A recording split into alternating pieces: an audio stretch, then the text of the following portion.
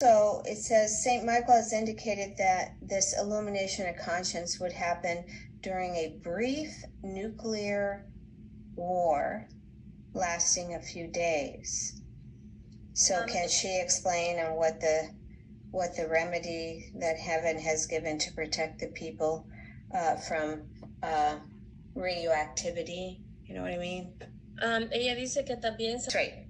Rose petals, not white, any color but white, Yeah. in water sprinkled with, I assume, blessed salt or salt, yes, and then didn't didn't say how much salt, but and then you would drink that several times a day to prevent radioactive uh, effects on to you. Is that correct?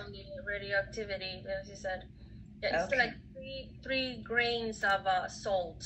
Three grains. Mm-hmm. Like Okay. Little pieces of grain.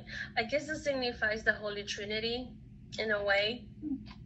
Significa la Trinidad y hay que rezar un Padre Nuestro y una Ave María en latín. Al momento está. And to pray uh, Our Father and a Hail Mary in Latin when we're doing that and drinking it. Okay.